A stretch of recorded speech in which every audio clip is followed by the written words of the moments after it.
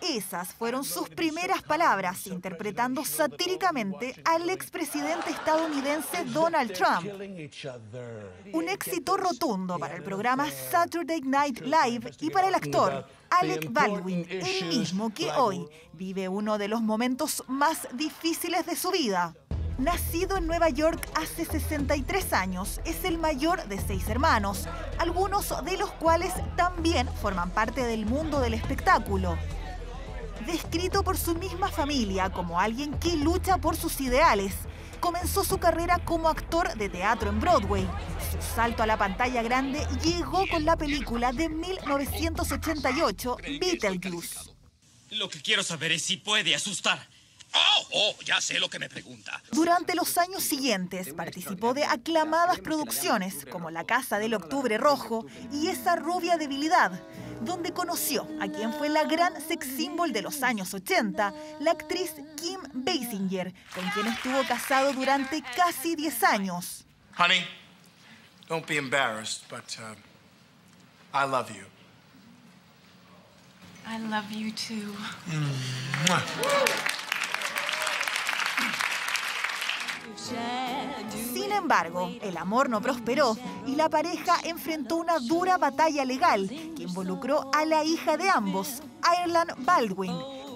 Incluso en 2007, el actor fue criticado después de que se filtrara este audio dirigido a su hija. You don't have the brains or the decency as a human being. I don't give a damn that you're 12 years old or 11 years old.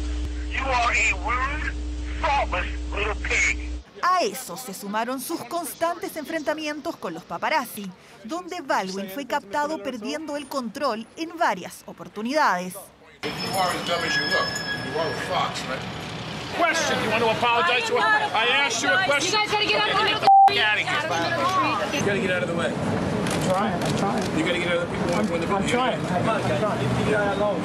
Try harder.